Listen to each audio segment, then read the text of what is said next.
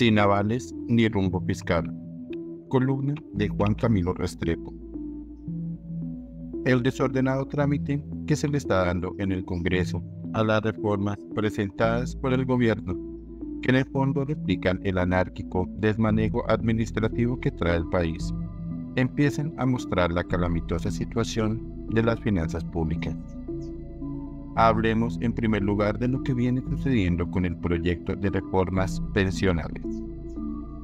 Los partidos independientes y de oposición, representados en la Comisión Séptima de la Cámara de Representantes, han tenido que recurrir a una tutela para que se les conceda el tiempo prudencial que requiere la redacción de su ponencia minoritaria con la cual piden el archivo del proyecto.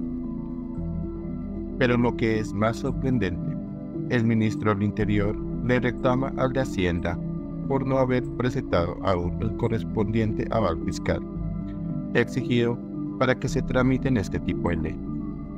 Es decir, la anarquía procedimental total. Los destemplados gritos e insultos del ministro de Salud apenas resultan comparables con lo que viene sucediendo con la discusión de la reforma pensional.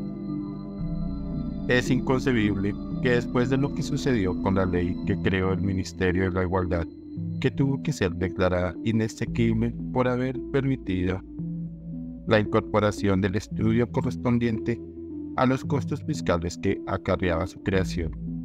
El gobierno le está dando largas a presentar el estudio análogo exigido en lo atinente a la nueva ley de pensiones, tratándose por supuesto de algo mucho más importante que el famoso Ministerio de la Igualdad.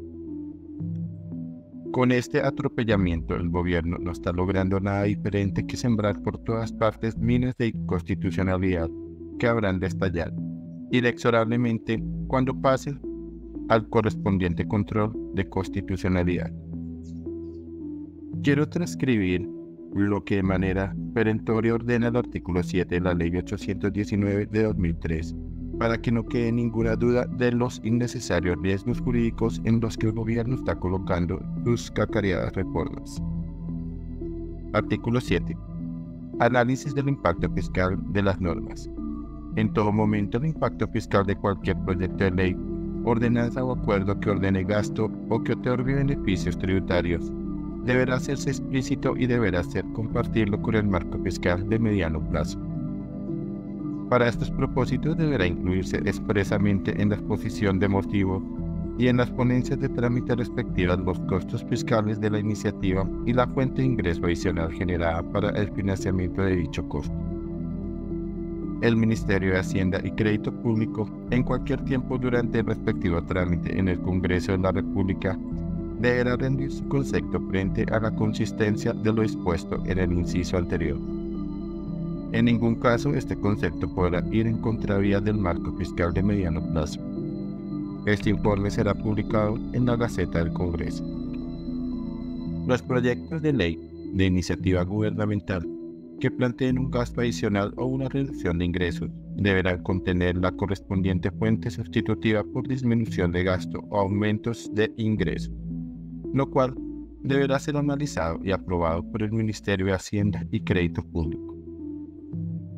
El gerente del Banco de la República con toda razón se ha dirigido a la Comisión Séptima de la Cámara diciéndole, en síntesis, que si bien el emisor puede asumir desde el punto de vista técnico el manejo del fondo que se creará para manejar los ahorros pensionales derivados de nueva ley, resulta imprescindible que se haga plena claridad de que este banco, al administrar dicho fondo, adquiera obligaciones del medio y no el resultado y que cualquier contingencia que llegara a resultar en el nuevo esquema de pensiones no correrá a cargo del mismo.